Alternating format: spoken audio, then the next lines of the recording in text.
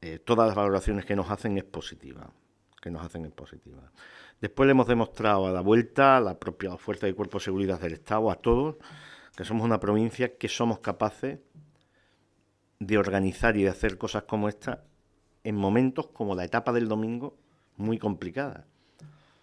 Porque tengan ustedes en cuenta que la etapa del domingo fue Algeciras San Fernando por la costa, un domingo de playa. Bueno, pues no hubo incidencias ninguna. Ninguna. Bien, eso también se demuestra. Y eso la vuelta lo ha sabido reconocer. ¿no? Creo que en promoción es un verdadero éxito. De otra cosa porque ya le digo, porque se retransmite en directo para muchos países, ¿eh? sobre todo, por ejemplo, desde el centro de Europa, que es un turismo potencial y económicamente potente, como es el, el, del Benelux, ¿no? Eso se retransmite en directo. Y luego son 180 países. Y lo de ayer de Cádiz se vio, ¿no? Cuando uno es capaz de hacer una cosa imaginativa como lo de Juan Carlos I, ayer había que ver Cádiz y cómo estaba. Yo creo que esto es muy positivo para todos.